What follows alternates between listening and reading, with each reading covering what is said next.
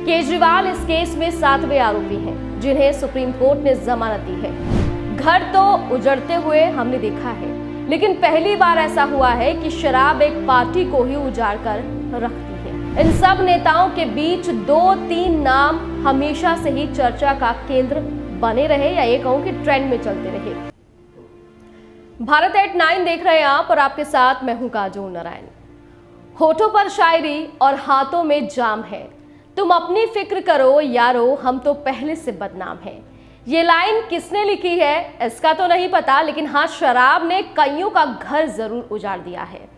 घर तो उजड़ते हुए हमने देखा है, लेकिन पहली बार ऐसा हुआ है कि शराब एक पार्टी को ही उजाड़ कर रखती है। ऐसी एक पार्टी हमारे देश में है जो बनने से लेकर दिल्ली और पंजाब में सत्ता में आने तक हमेशा विवादों में रही। कभी एमसीडी और एलजी विवाद तो कभी बिल पास कराने को लेकर विवाद, कभी ट्रांसफ़र तो कभी पोस्टिंग। हमेशा से आम आदमी पार्टी का विवादों से नाता रहा है। ऐसा ही एक नाता आम आदमी पार्टी का दिल्ली शराब घोटाले से है, जो पिछले दो सालों से नहीं टूट रहा।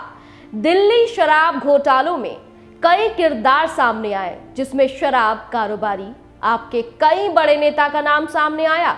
कई नेता जेल गए तो कई बाहर भी आ गए। इन सब नेताओं के बीच दो तीन नाम हमेशा से ही चर्चा का केंद्र बने रहे या ये कहूँ कि ट्रेंड में चलते रहे। जिसमें दिल्ली के शिक्षा मंत्री और दिल्ली के सीएम अरविंद केजरीवाल प्रमुख थे। मनीष सिसोदिया को जेल से बाहर आए महीनों गुजर गए। वहीं दिल्ली शराब घोटाला केस में दिल्ली के सीएम अरविंद केजरीवाल को जमानत भी मिल गई है, वो जेल से बाहर भी आ गए हैं। केजरीवाल इस केस में सातवें आरोपी हैं, जिन्हें सुप्रीम कोर्ट ने जमानत दी है।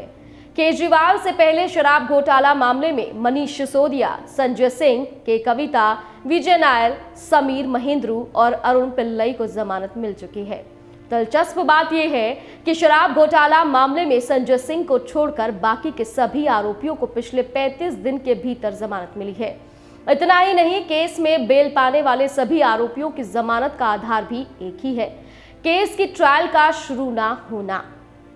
दिल्ली शराब घोटाला मामले में अरविंद केजरीवाल को मार्च 2024 में प्रवर्तन निदेशालय ने गिरफ़्तार किया था। केजरीवाल पर मनी लॉन्ड्रिंग से जुड़े आरोप में गिरफ़्तार किया गया था। आप दिल्ली के पहले मुख्यमंत्री थे, जो पद पर रहते हुए गिरफ़्तार हुए। आपने केजरीवाल की गिरफ्तारी को राजनीतिक कार्रवाई बताया था। केजरीवाल की गिरफ्तारी ऐसे वक्त में हुई थी जब आपके टॉप तीन के नेता जेल में बंद थे। इनमें मनीष सिसोदिया, सत्येंद्र जैन और संजय सिंह का नाम शामिल है।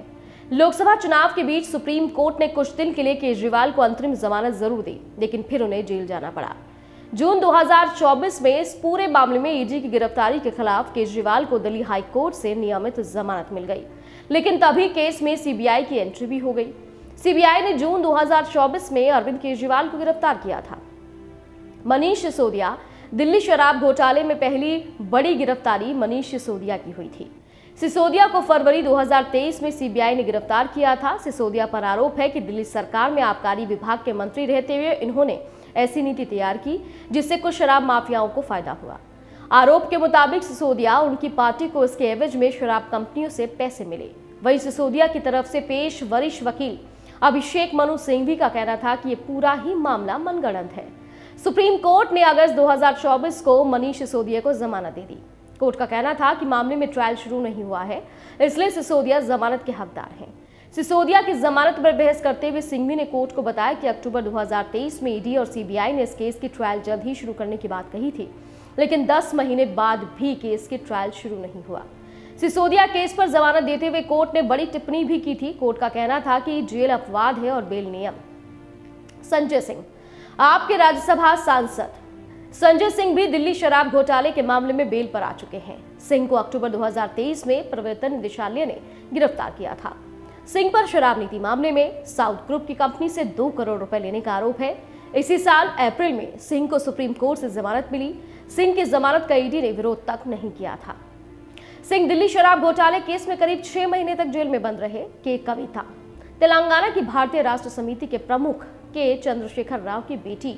के कविता भी दिल्ली शराब घोटाले मामले में आरोपी है। कविता को मार्च 2023 में गिरफ़्तार किया गया था। उन पर पॉलिसी बनवाने के बदले पैसे के लेन देन में शामिल रहने का आरोप है। कविता को 27 अगस्त 2024 को सुप्रीम कोर्ट ने जमानत दे दी थी। विजय नायर। आपके कम्युनिकेशन विभाग के इंचार्ज विजय नायर भी दिल्ली शराब घोटाले के आरोप में जेल जा चुके हैं। नायर को सितंबर 2022 में गिरफ़्तार किया गया था। नायर की पहली गिरफ्तारी सीबीआई ने की थी। फिर नवंबर 2023 में उन्हें ईडी ने गिरफ़्तार कर लिया। नायर को भी इसी महीने की शुरुआत में सुप्रीम कोर्ट से जमानत मिली। नायर पर ही शराब घोटाले की साजिश का आरोप है। हालाँकि केस में ट्रायल शुरू नहीं होने की वजह से नायर को कोर्ट ने जमानत दे दी थी। नायर की जमानत पर फैसला सुनाते हुए अदालत ने कहा था कि किसी भी आरोपी को अंतहीन समय तक के लिए जेल में नहीं रखा जा सकता है। समीर महेंद्रू इंडोस्प्रिट कंपनी के मैनेजिंग डायरेक्टर समीर महेंद्रू भी दिल्ली शराब घोटाले के आरोप में गिरफ़्तार होकर जेल जा चुके हैं। समीर महेंद्रू पर आरोप है कि इनकी कंपनी ने नीति बदलवाने के एवज में पैसे दिए। महेंद्रू को सितंबर 2022 में गिरफ़्तार किया गया। महेंद्रू भी जेल से बाहर आ चुके हैं। अरुण पिल्लई।